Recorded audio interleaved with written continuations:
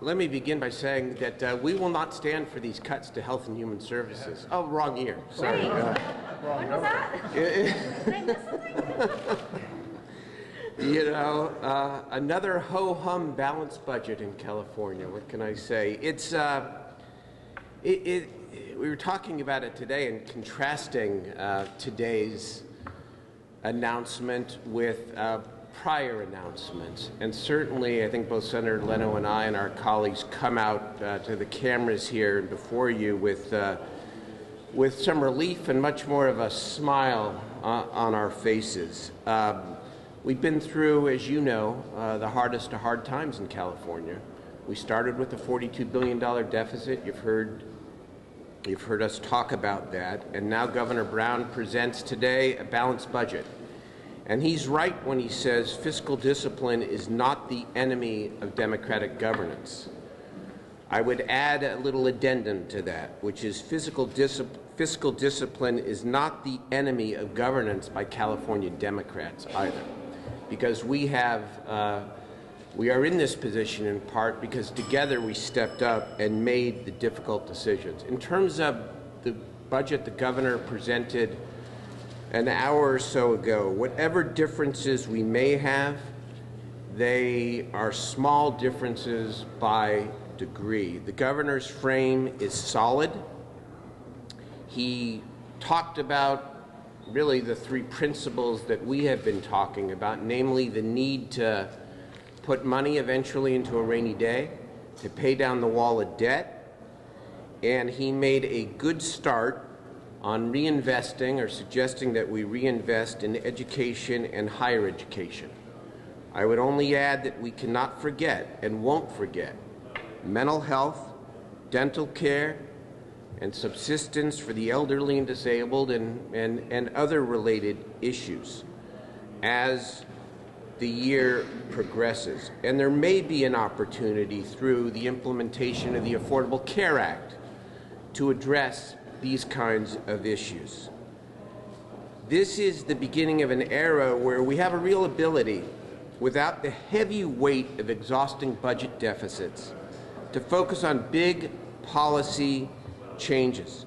The way we finance public education, and the governor's put out an interesting proposal, which is uh, which I think is sound in principle and worthy of a lot of detailed discussion. The way we deliver higher education, including online education.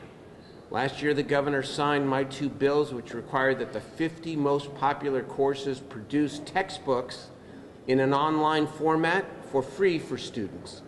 And we need to continue with that kind of innovation. Obviously, health access for all very pleased to see the governor embrace Medicaid expansion.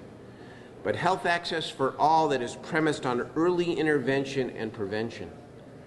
And finally, changing government to be both a tough regulator where appropriate and where necessary, while getting out of the way of the private sector and job creation where its involvement is not needed. And so let us focus on a number of things this year that we have not had the ability to focus on because the California budget is in balance. It's a good day. Senator Leno? Sure. I'll pick up where the pro tem left off, that we do have a bit of a breathing room this year.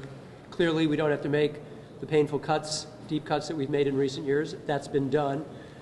The passage of Prop 30 really just refills that $6 billion hole that Arnold Schwarzenegger dug when he rescinded the restoration of the vehicle license fee. So it just brings us up to ground level, but no more. But as the economy continues to revive and the benefits of 30 continue to grow, we will have surpluses as already projected in the governor's budget in the years to come. So we're in this little middle ground area, no more cuts, but not sufficient monies to make restorations. Our goal here, of course, is to reinvest in the reduced public infrastructures that have occurred over recent years.